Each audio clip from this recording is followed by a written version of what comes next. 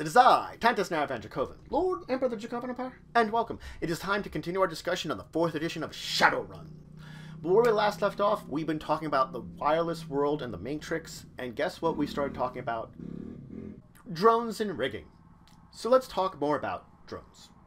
So there are the basic types of drones, and the fact that vehicles which can oftentimes be used as drones.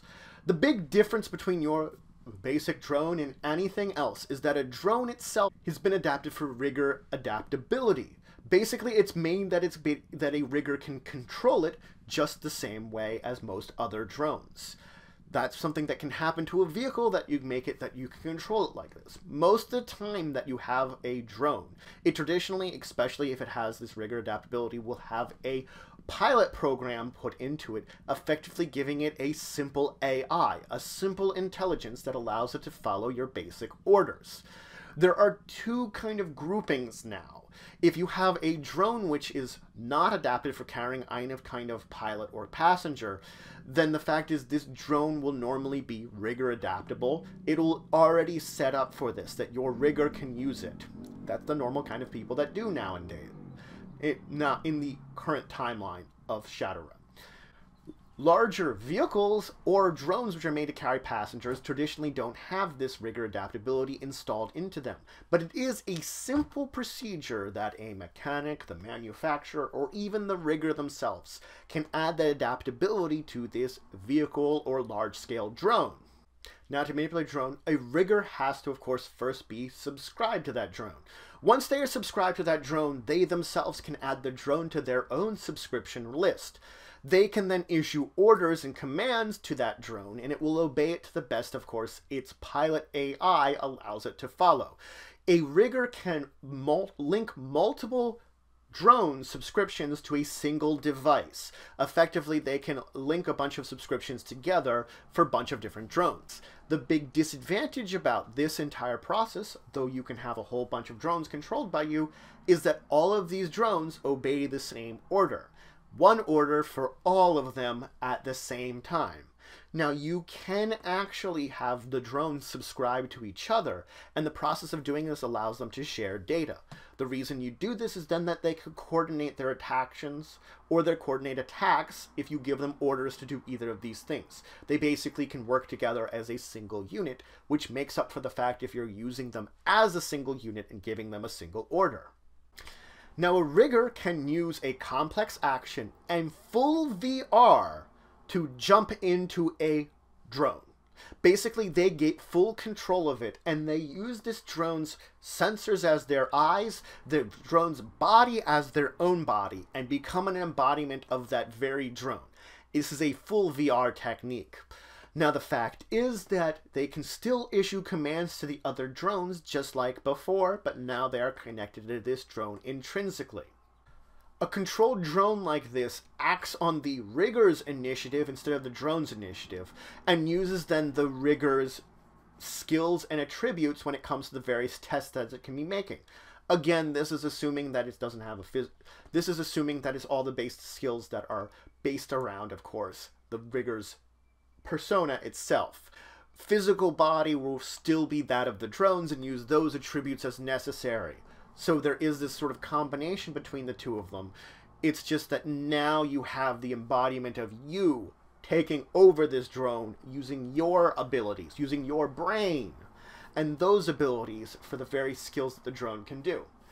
There are some intrinsic dangers to this that do exist, especially for hot sim users. Hot sim users have to worry. If a drone takes damage and you're hot simming it, you will take half as much damage as the drone takes. Now this will be of course in stun damage. And the rigger in Hot Sim can resist this damage by using by making a willpower plus biofeedback test, basically attempting to absorb the damage. If you are in Hot Sim and the drone that you're basically controlling gets destroyed though, you are instantly dumped from the Matrix and you will suffer the effects of dump shock. You get dumped, you get dump shock. Now, it is also possible to link a security system or component in a code support a component in a security system to rigger adaptability. How this will tend to work is that a security hacker will directly interface themselves with a central node of security. This functions much the same way as the hacker slash rigger diving into a drone and basically controlling it. Though in this case, they're diving directly into this central node. When this occurs, effectively the entire security system becomes an essential extension of their body. Opening and closing of doors, they'll kind of sense when it's happening as this little tingle. If a sensor gets tripped somewhere, they might feel something kind of in their fingers. And as soon as a large scale alarm is sounded, it will echo in their heads. Effectively, the very system of security becomes an extension of their body. All the cameras are basically their eyes. They can see anywhere at a time, focusing on one here and there, checking for you. So this, in fact, can make it that security systems can be even more dangerous because you never know when a hacker is actually connected with it and paying attention to what's going on to it. Now, as I said before, you will be seeing through a drone's eyes should you be connected deep within it and basically rigging as controlling it. When this happens, if you need to make perception, you would roll your drone's sensor plus your perception. Effectively, you'd use your skill matched with the drone's actual physical eyes to give you an idea of what you can see. A drone that is controlled by its pilot program will use its own sensor plus its Clearsight programming if it has Clearsight. If it does not have Clearsight, then it will only use its own sensor. So it depends on if it has the programming in order to use those sensors a little better or not. That's rig drone program. So that's it for today. Today I talked a little bit more about drones. I first talked about the general control of drones, what you're going to need, rigger adaptability, which can work on basically the normal actual drones that you may purchase, or you can put it in vehicles and basically turn them into giant drones, which can drive people. Now, I did go over the fact that most of, that you're going to install a pilot program into anything that you've rigger adapted. Basically, you're going to have it that it's able to control itself if necessary. But then, you, if you wanted to do it that, you subscribe to it, you give it orders, you give it information, it will basically respond the best if it can to its dog brain pilot program AI and you can link them together for a bunch of drones to work together because if you subscribe to more than one, they're all on the same device, they're all being controlled by you at the same time. Now, I did talk about diving into one of these drones and controlling it directly, using its body as your own, its sensors as your own, basically as your eyes, and functioning like that. That's a complex action to start that.